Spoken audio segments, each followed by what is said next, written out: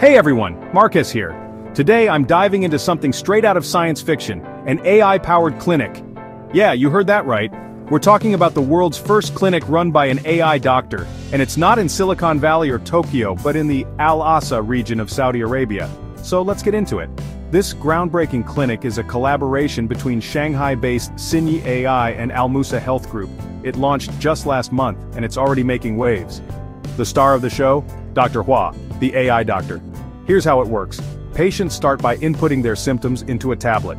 Dr. Hua then takes over with an interactive consultation, asking follow-up questions to gather all the necessary info. It's like having a chat with a super smart robot doctor. But it doesn't stop there. Human assistants come in to gather additional data like cardiograms and x-rays. Dr. Hua analyzes all of this and then proposes a treatment plan. This plan is reviewed and approved by a human doctor, ensuring we've got that critical human oversight. In terms of accuracy, Dr. Hua is pretty impressive. CEO Zhang Shaodian of Synyi AI reported an error rate of less than 0.3% in tests. Imagine that, an AI diagnosing illnesses with such precision. Currently, Dr. Hua focuses on about 30 respiratory illnesses like asthma and pharyngitis, and they plan to expand this to 50 diseases across various fields within the next year. Shaodian puts it perfectly. What AI has done in the past is assist doctors, but now we are taking the final step of letting AI diagnose and treat patients directly.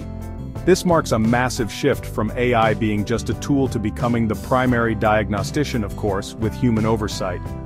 Right now the service is free as it's in a trial phase, gathering data for approval from the Saudi Arabian authorities before it goes commercial.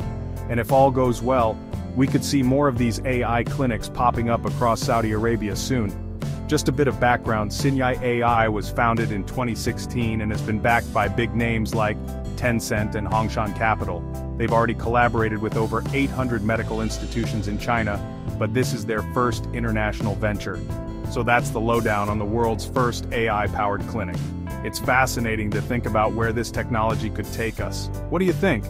Are you ready to have a robot doctor? Drop your thoughts in the comments below. Don't forget to like, subscribe, and hit that bell icon for more tech updates. Catch you in the next one. Peace!